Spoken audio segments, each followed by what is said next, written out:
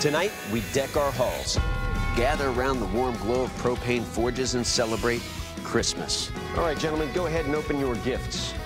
Four Smiths, join in on the holiday spirit in the hopes of making it to the top of Santa's list. To win the best gift of all, the title of Forged in Fire Champion and 10,000 Christmas dollars.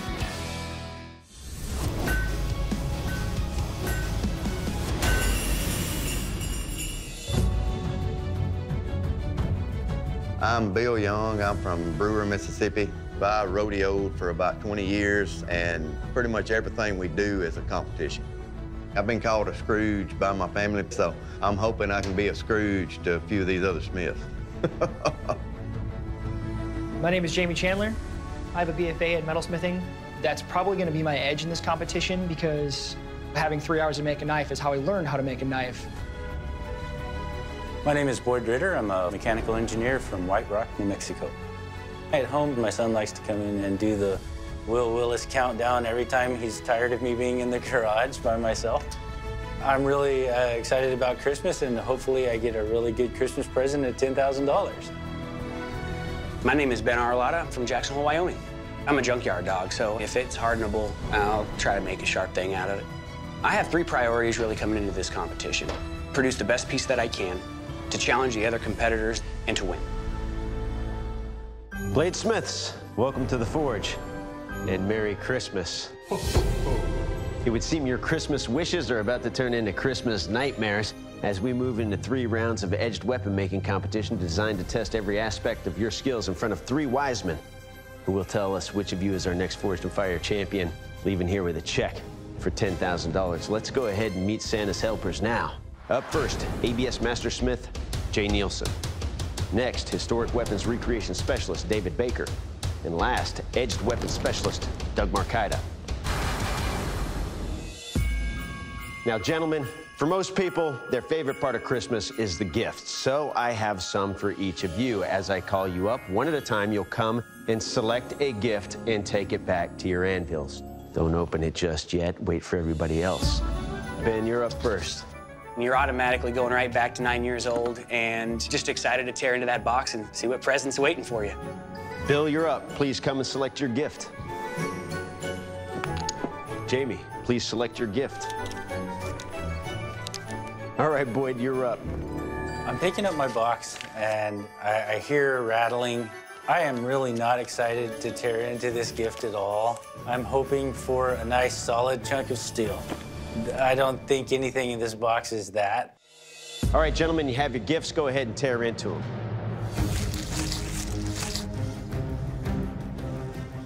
Bill, it is a 52-100 high carbon chromium steel ball bearing. Jamie, that is round stock W1 steel.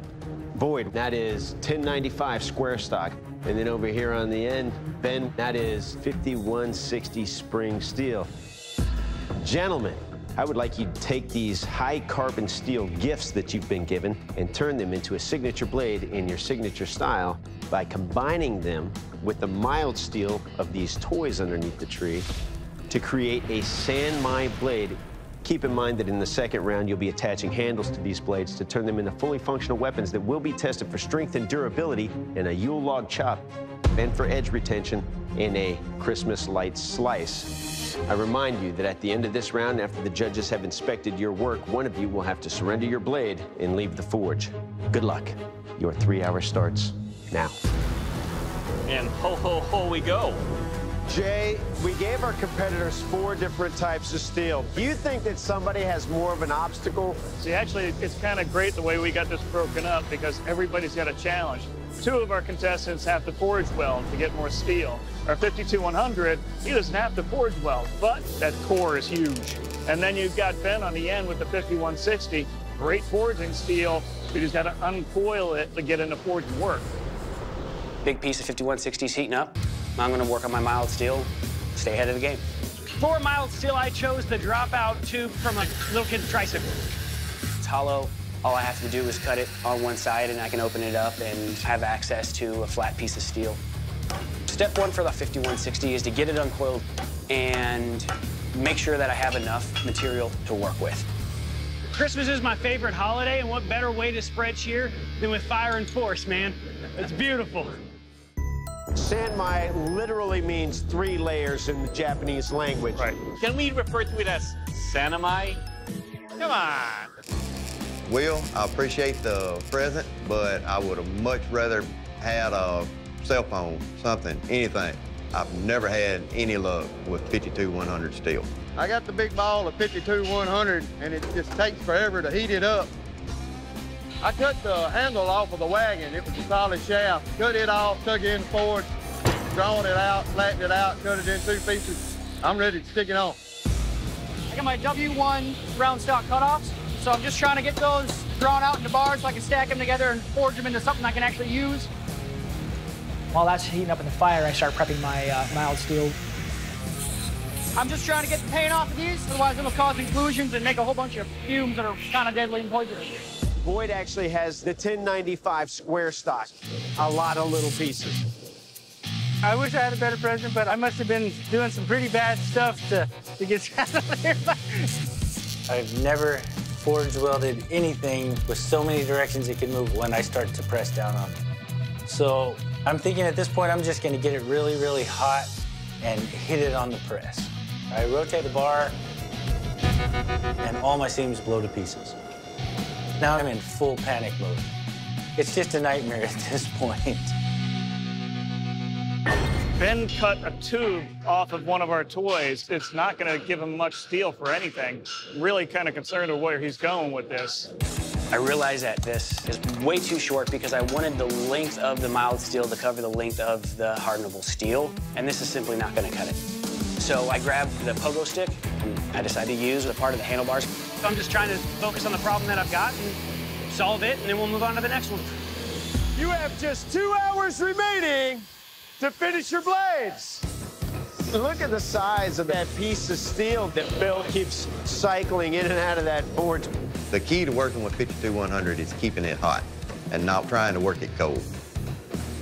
I'm not real good at waiting, but now I've got to wait. I uh, formed out all my uh, individual pieces, stacked them together, forge welded them, drew it out, and now I'm gonna attach the mild steel to the sides, forge weld that on, and then I'm gonna make the profile of my knife. I feel behind, but I'm gonna feel that no matter what, so I just gotta keep on moving. I'm trying to cut some usable pieces out of my billet. Boyd's already had one flawed weld. He's trying to put it back together, trying to weld it again. So Boyd's scrambling. He's running out of time. I'm gonna restack, clean up these faces, get everything nice and tight, re-weld it, put it back in the forge. Time's ticking away, and I can't afford to mess this weld up. Now I've got my three pieces of steel. It's time to tack all three of them together, get them hot, make that billet. I start getting it hot to weld. So I'm in the press, and the whole Sanmai comes apart. Oh! oh, man. One whole side came loose, popped all the welds off. I have to start over. And if I don't get this billet set, I go home.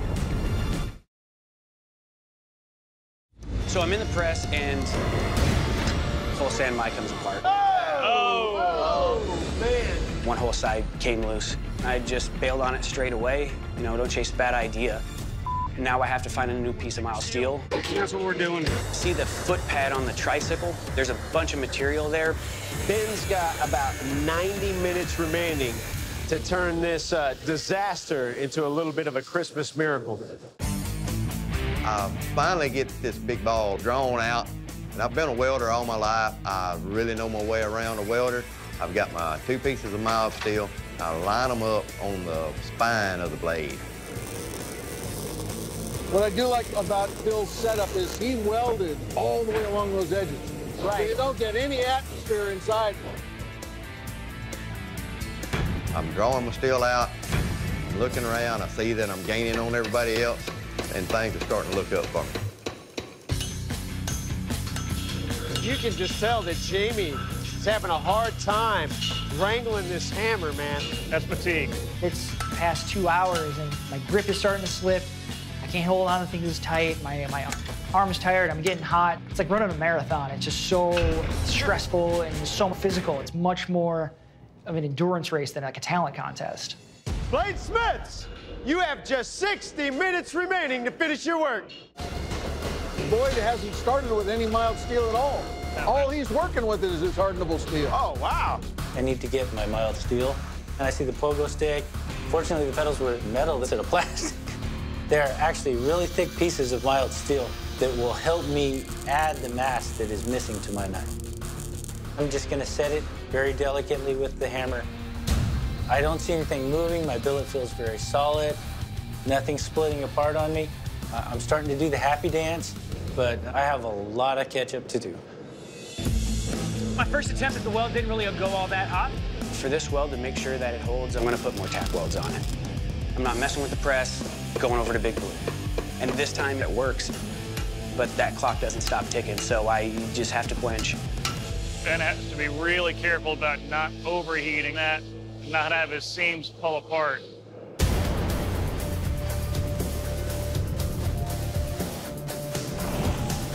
There's a warp in that. I laid the blade on my anvil, grab it by the point, and try to straighten out that bend right there. Those judges will judge a finished knife for me today. Absolutely. Blade Smiths, 30 minutes. I'm trying to drill my holes for my pins for my tang. I can't get the high-speed drill bits to drill it. I can't get the carbide drill bits to drill it. I'm getting a little bit frustrated on the drill press. I don't think most people would use a oxyacetylene torch to cut a hole in their tang, but go get the blowtorch, blow me three holes in it. Well, man, we've never seen a guy just torch the holes for his tang It, before. it works. That's cool. I like that. Jamie, right now, is the temperature that, oh, perfect. There we go. Perfect. Nice. Oh, yeah, stir it up, baby, stir it up. Whoa! Yeah, you really don't want to pull your blade out of the oil until it kind of stops smoking. Uh, Jamie's got a warp. I run to the vise, and I just push my weight on it just enough to get it beyond the bend. 10 minutes, Bladesmiths. I need to get this thing quenched. And it's either gonna come out straight as an arrow or not. And I noticed that warp start picking up. It's not a terrible warp. I'm hoping it's something that I, I can get with the grinder. It seems like it's hardened well. I need to finish my blade. Five, four, three, two, one. Bladesmith, shut down your machines, drop your tools. Woo! This first round of Christmas competition is over. Oh, oh, oh, oh. I'm nervous.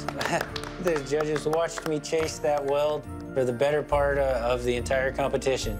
And just based on the steel that I had, I did what I could. So we'll see. Bladesmiths, that was a tough first round of competition. Now it's time for the judges to take a closer look at what you've done with your time. Bill, you're up first. Please present your blade to the judges. All right, Bill, what I really love seeing is looking down and seeing those three layers. I mean, there's no question that they're there. Really well done. But there's still a ton of steel here. This is a weighty beast right now. When I'm holding this blade, there's just not a lot of stop to it. Figure out what you're gonna do with that handle and lose some weight off of this thing, and you're well on your way. Nicely done. Thank you. Jamie, please present your blade to the judges. Now I can see the difference between the hard and the soft steels, but instead of just a line, I see a seam going down. But uh, a lot of weight. Lose a lot of this mass, and hopefully doing that, you can get rid of these seams too if you move on.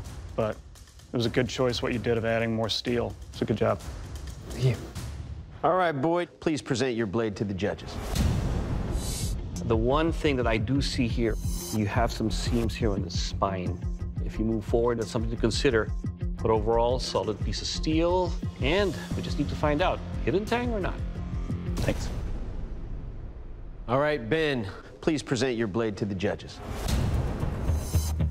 You did a good job drawing that 5160 out initially, but you got it long and thin. And then when you started doing those welds, your welds were long and that material was thin. And I think it, it shows in, in that there's just places where that material's burnt away. Yes, sir. You didn't, I mean, you pushed through to the end on this thing. You, you, you were really fighting that steel. Um, if you move forward, the biggest issues are these delaminations.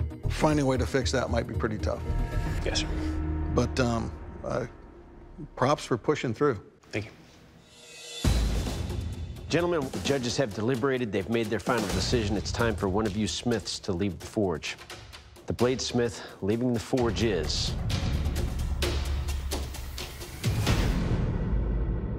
Ben, your blade didn't make the cut.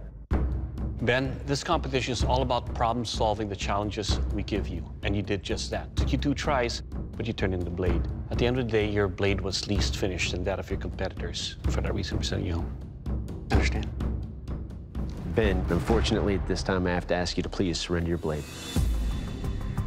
I did my best to be able to stick to my plan and dealt with problems as they came. Just made a mistake in the mild steel that I chose. We'll learn from it and we'll get better. You only lose if you don't learn anything, you know? It wasn't a victory, but it certainly wasn't a loss either. Bladesmiths, congratulations. You've made it to the second round of this competition. And now that your blades have been tempered, it's time to attach holiday handles to them using that nutcracker right over there. You'll have two hours in which to assemble your handles and get them ready for weapons testing. We'll be testing them for strength and durability in a Yule log chop and for edge retention in a Christmas light slice. So I remind you that at the end of this round, after your blades have been tested, one of you will be selected to surrender your blade and leave the forge with no milk and cookies. Good luck. Your two hour starts now. Ah! All right. So this nutcracker, it's made out of pretty solid looking wood, man. Out come the hammers. Oh my god. There you go. There we go. There you go. Oh, and again. That's good. That's good. Some child is sitting at home crying while his toy is destroyed. I need to get the slight warp that I was dealing with out. I need to grind away those cold shunts along the spine of the knife, and then I'll jump and start dealing with the, the little man guy, thing. Bill needs some kind of swell in the back because he's got so much blade. So I just cut a little piece of mild steel, welded it on, made a flare, and ground it down, and feels a lot better. It won't try to fly out of your hand anyway. Right now, I'm just trying to get all my handle pieces assembled so I can get them glued up and set. I got this nice red micarta. I got this hunk of the nutcracker. I'm gonna dye these green. So I'm pretty much just trying to turn my knife handle into a Christmas present that I can give to the judges. I take my wooden pieces and my spacer and I glue those down to the, the black spacers so that when I pull them off the board, it'll be just two solid slats that I can just work with. I need to give it at least five minutes to set up. So I grab my knife and go and try to fix these problems. Right now, I'm getting my handle fitted up. I ended up using one of the legs off of uh, the little soldier guy. I- I'm feeling the pressure right now. And I'm still working with my fit up, so uh, I'm a little stressed at the moment. Well, Bill's back over to the drill press with that tang that's giving him so much trouble. The holes in my scales, they're not big enough right now for the pins that I'm planning on using. So I'm trying to drill it out. It starts to scream a little bit, then it hangs up in the hole. And I'm stuck. Bill's got the drill bit stuck in his tang. Oh. I can't get it to move. I'm trying to twist this drill bit out, and there's a possibility that it could snap right there where that hole is. This could be a $10,000 mistake right here. I finally just have to just bust it off and knock it out with a punch. So now I'm going back with the acetylene torch and just hope for the best. Bladesmiths, you got 60 minutes remaining to finish your work. I grind for about 30 minutes and I go and check on my handle pieces. And I look at my, my handle slats and I take the clamps off and it's looking really nice. And I go to pick them up and I glued it to my cutting board. And I'm freaking out. It looks like Jamie just epoxied these materials onto the table. I hit the first one off. Hey, not towards your guts there, Jamie. Yeah, that's kind of a dangerous way of doing that. Go to hit the second one and only half of it flies off. And there it falls apart. So all that work is for nothing now. This is a stupid mistake. I need to figure out what to do and fast. It looks like Jamie just epoxied these materials onto the table. Go to hit the second one and only half of it flies off. And there it falls apart. apart. I'm just gonna try to line up all these little pieces into one block, which is the thing I didn't want to do in the first place, and I guess it was unavoidable. Boyd's a little bit behind the power curve doing this, you know, through tang construction. I really would have liked the option for a full tang, but Uh, just based on the steel that I had, uh, I couldn't do that. I don't think Boyd mixed his epoxy very thoroughly because That things be aren't problem. drying over there. You need to give the epoxy time to do its work. I don't have time to do that, so I'm gonna rush it a bit, and I just grabbed the knife. Oh boy. It's called the good enough. I'll take it to the grinder. I was expecting this would be a real fast, easy trim. You know, sawdust everywhere. And nope, it's not moving at all. And I'm looking at the clock, and it's ticking down. I'm thinking it's a chopping and slicing competition, not a handle competition. I need to get sharpening and finishing my blade. 30 minutes, Blade Smiths! I'm a little bit nervous because I might be a little slower on putting handles on than I am at forging. If Bill doesn't make his handle out of material found in that nutcracker, he's disqualified automatically with no deliberation. I'm using Micarta because I'm thinking it'll stay together with this log chop better than a piece of wood. We got to use part of the nutcracker, so I'm going to use his beard. I'm going to just cut a strip out of it and lay it around the outside edge of my handle. And I think that that's a really bad idea. A knife is great, like don't mess it up by just gluing fur to the handle. Who had a fur handled anything ever? I go over here to the grinder and I put a real nice fine edge on it, and I'm leaving it heavy because I'm worried about the log chop. I don't want to thin it out and have it break. I want to see Jay just beat the fire out of it. Five minutes! I'm running behind. I, uh, I got my hand material on, but I still have to shape that completely. I still have to take care of the edge bevels and sharpening and get these hollows a little deeper. Five, four, three, two, one. Blade Smith, shut down your machines, drop your tools. This second round of competition is over. I just spent all this time making this piece of artwork, and I'm just gonna watch someone beat the absolute crap out of it. I wanna see it do well, but I also know about all the mistakes involved. All right, Bladesmiths, welcome to one of my favorite parts of our competition, the strength test. To honor Christmas, I'm gonna take each of your knives and I'm gonna beat them into these Yule logs. Bill, you're up first. You ready to go? Try me if you want to. Okay. Jay is going to test our blade on a log chop. If there's a crack in my blade, when Jay busts that log with it, it could just break in half. You know, it's not really a Yule log without a fire.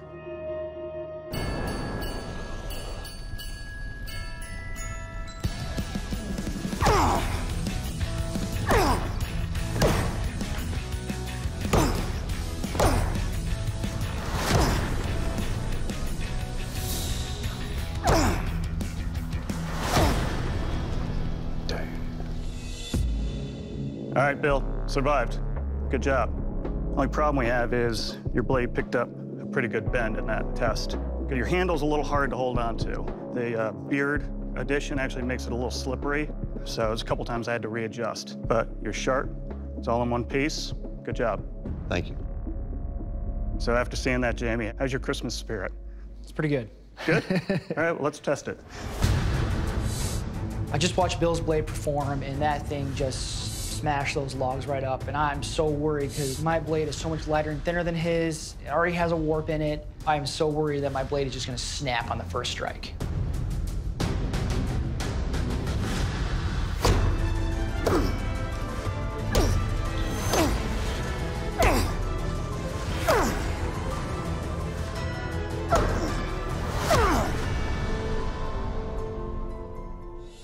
Congratulations, Jamie. Stayed together. The only problem I have is it's a very small handle. It was kind of hard to hold on to. But it's tight, it's sharp. Good job. Thank you. Boyd, it's getting hot up there, but I got a little more in me. How about you? You bet. All right, let's do it. When Jay goes to banging on that Yule log, there's a lot of stress that's going to be built up right at that front joint behind the guard. I'm worried that I have empty cavities in that handle that are just unreinforced, and after two or three strikes, you're just going to crumble.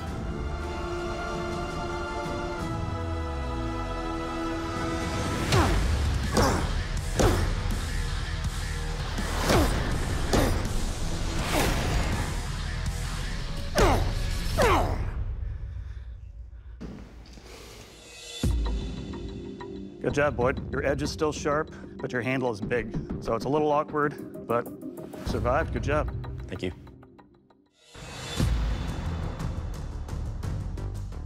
All right, bladesmiths, this is the sharpness test, the Christmas light slice. To find out how sharp your blade is, I will take your weapon and slash across these Christmas lights. A sharp blade should cut easily and give me clean cuts.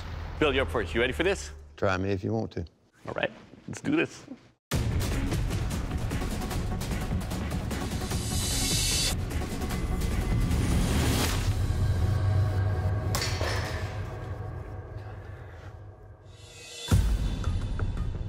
Bill, let's talk about your blade here. It's a heavy beast. You still have a warp here, but more importantly for this test, it will cut. Thank you. All right, Jamie, your turn. You ready? I am. Let's do this.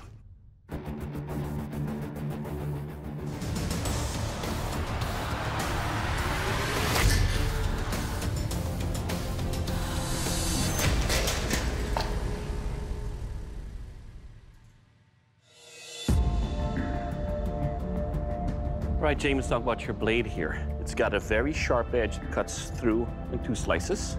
Your handle construction is comfortable. I can index when I'm slicing with this blade, and more importantly, sir, it'll cut. Thank you. Oh, Boyd, it's time. Are you ready? Oh, no. Mm. We're gonna do it anyways.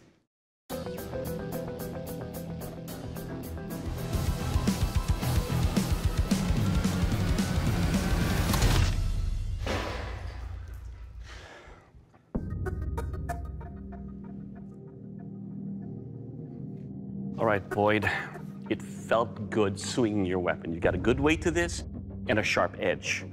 Now, your handle construction, a little bit on the wider side, but more importantly, sir, it will cut. Thank you.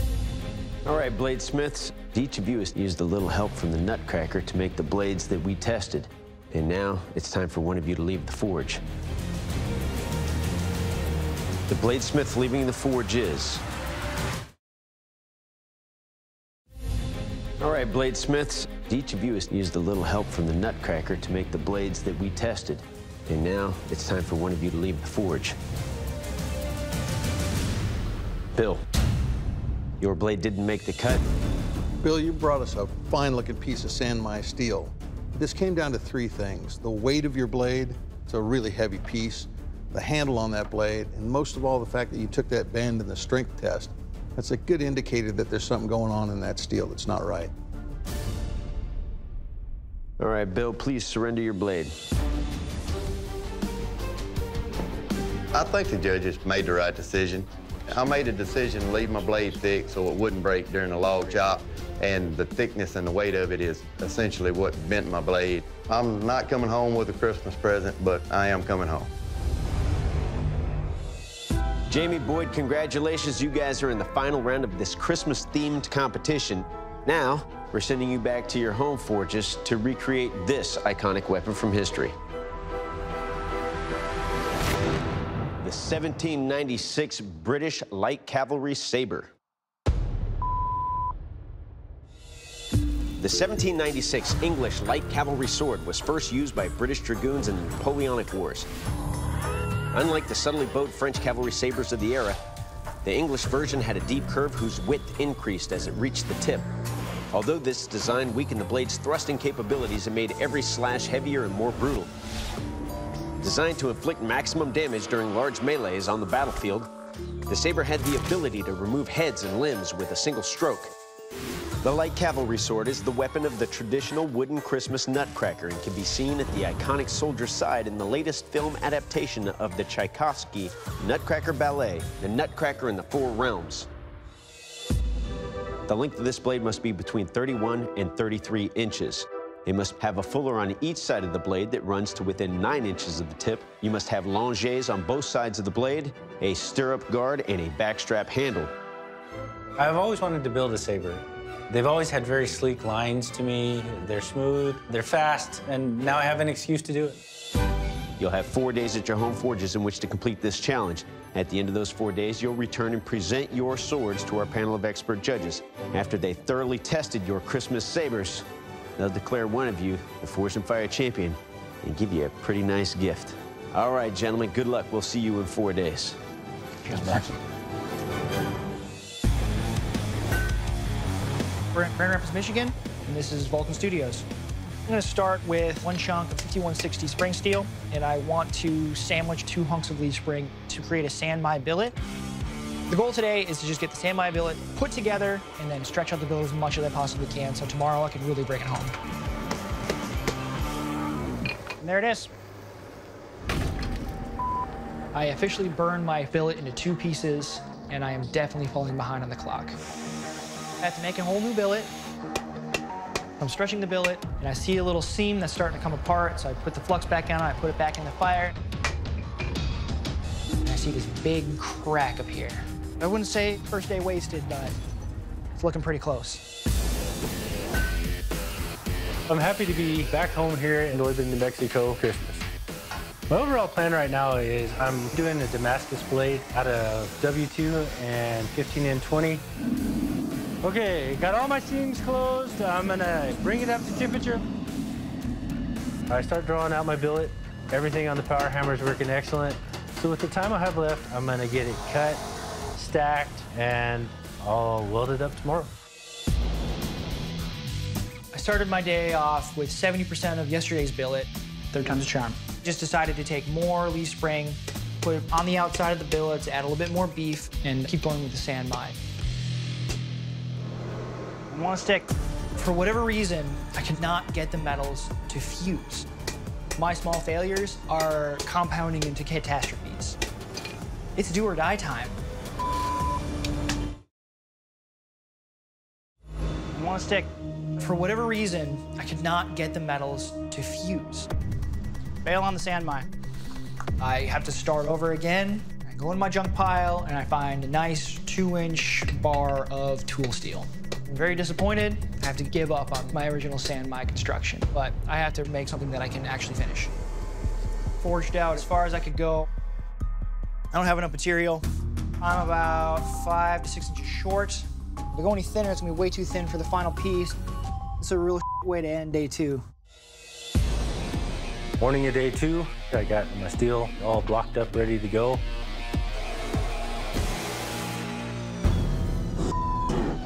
I think I see cracks. Now last one cracked all the way down to about the center of that building. There's no recovering from that. They're just junk. I have to start plan B. We're starting over. We're gonna go mono steel with the 5160. The plus side is my bar is drawn out a lot further than it was. I've lost half my day messing around with this Damascus, not to mention yesterday. We're just gonna go all out and move as fast as we can, see if we can catch up. I was expecting to have a quenched sword blade by the end of yesterday. I don't even have the sword blade yet. My emergency plan is I'm taking two pieces of mild steel and making a San Mai billet on the tang end of my carbon steel billet in order to be able to draw it out long enough.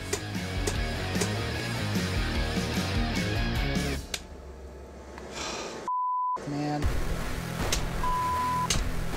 I cannot believe this thing just cracked on me. I've used the technique before and it, it works, but I'm running out of time. I, I can't just mess around with something that's not gonna work. So I abandon it and I just grab a leaf spring. Pressure's really on, but I'm gonna finish. I'm either gonna turn something in that I can be proud of or I'm not showing up and I'm, I'm showing up. I'm gonna finish blade and I'm gonna go there and show them what I'm made of. Mama didn't raise no quitter. Today, I need to finish up that handle and guard setup and I need to concentrate a lot on the blade. I mean, ultimately, this is a really light weapon. It needs to stay a light weapon. I do have a lot to get done and a short amount of time. Luckily, I have my own personal Will Willis here. So at some point today, I will get a countdown and let me know when all of this is done. I'm gonna put Christmas on this handle. I think it's cool.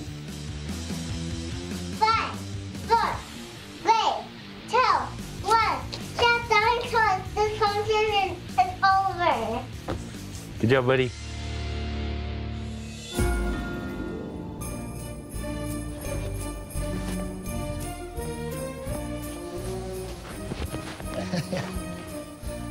Jamie Boyd, welcome back to the Forge. The weather outside is frightful, and I guarantee you what lies ahead is frightful as well. You boys have had four days at your home forges to work on the 1796 British Light Cavalry Sabre. Boyd, tell us about your blade. I had a lot of fun with this build. The blade ended up being 5160. The rest of the metal components are mild steel. The handle is deerskin wrapped bloodwood. All right, Jamie, tell us about your blade. It was a really tough four days. I ended up making the blade out of spring steel. The guard component is mild steel, copper, and some hardwood as the handle. All right, what lies ahead are three tests. There will be a strength test, a sharpness test, and up first, Doug is going to carve the roast beast. Doug? Bladesmiths, welcome to the kill test. Keeping with this Christmas theme, I'm gonna take your weapons and deliver some slashes and chops on this Christmas ham. Jamie, you're up first. You ready for this? Let's do it. Let's do this. I'm a little nervous about being first up for the kill test. I don't know what's gonna happen, how well it's gonna do. I am equal parts nervous and excited.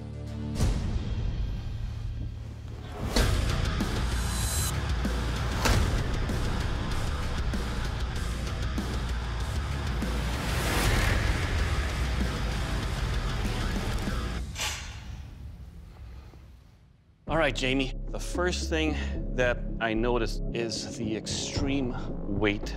Automatically, I can feel the stress on my hand. It wants to fall forward. Now let's talk about the blade. This is a chopper that gets work done in three chops. Your weapon, sir, will kill. Thank you. All right, Boyd, were you naughty or nice? Because it's your turn. I don't know. We'll see. Jamie's blade performed really well. I mean, it sliced through the pig like it wasn't even there. So now I'm a little nervous about my blade. My blade is going to have to do at least as well for me to even have a chance.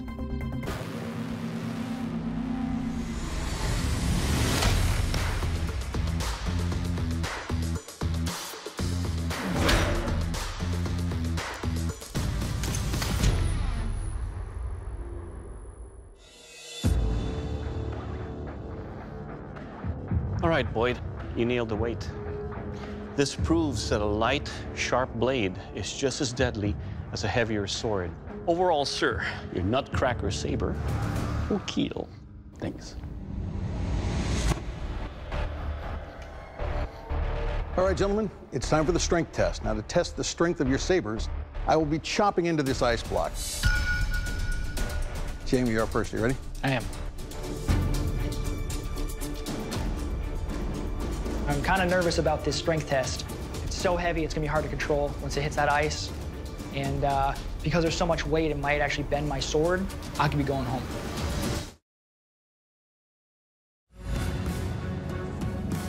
I'm kind of nervous about this strength test. Because there's so much weight, it might actually bend my sword.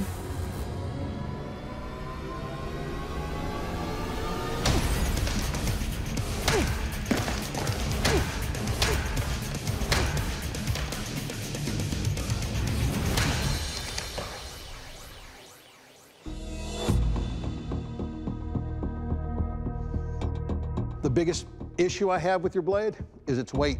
But for this test, it's a strong blade. It held up, so good job. Thank you. All right, Boyd, you ready? Uh, I don't know.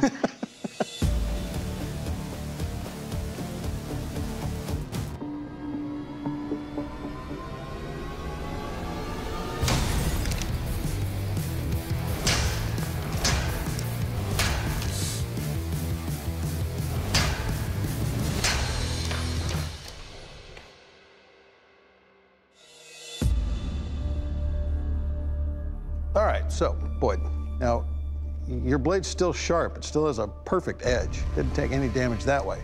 But we did pick up a bit of a warp towards the tip. I mean, it's definitely an issue. It's not so far out that it wouldn't cut. Everything else is still tight and together. Good job. Yes, sir.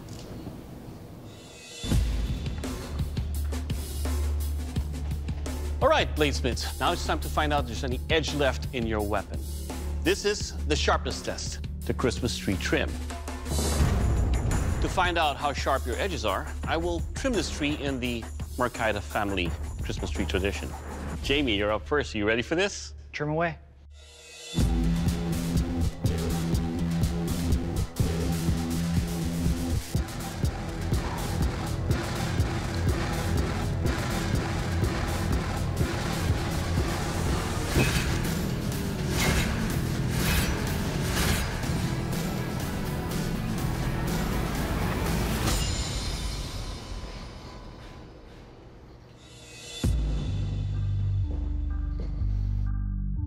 All right, Jamie, let's talk about your edge here.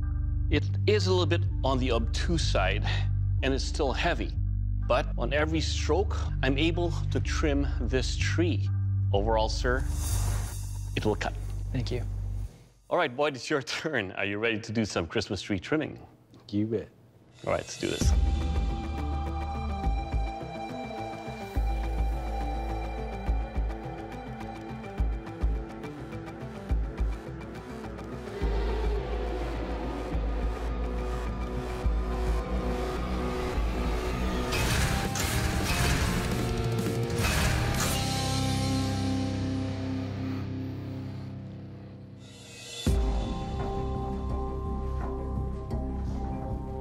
Boyd.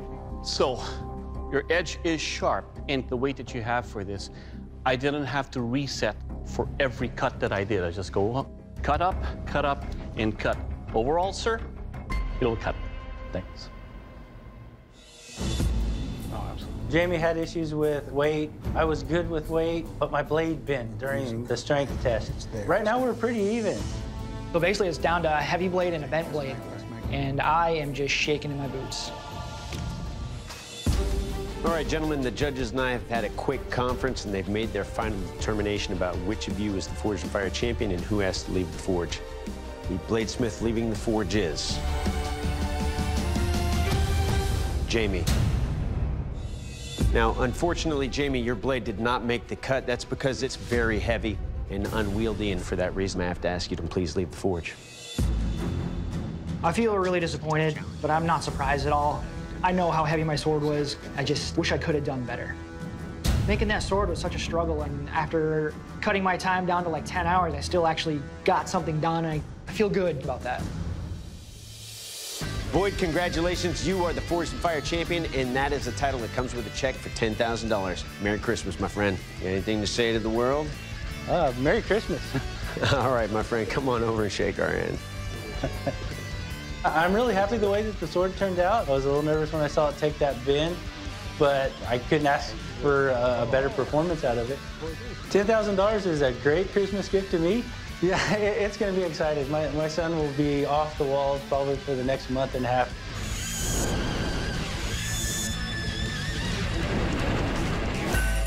Oh.